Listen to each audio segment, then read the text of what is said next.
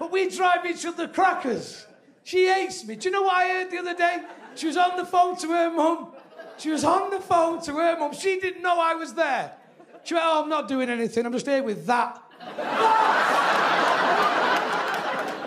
not even it or him.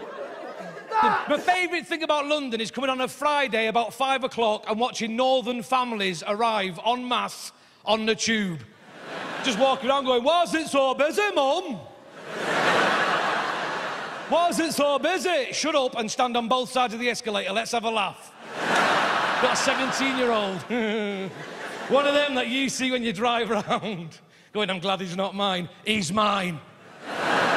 this thing that lives in my house, essentially a yawn in a hood. That's all he is. Breathing his way, I'm tired.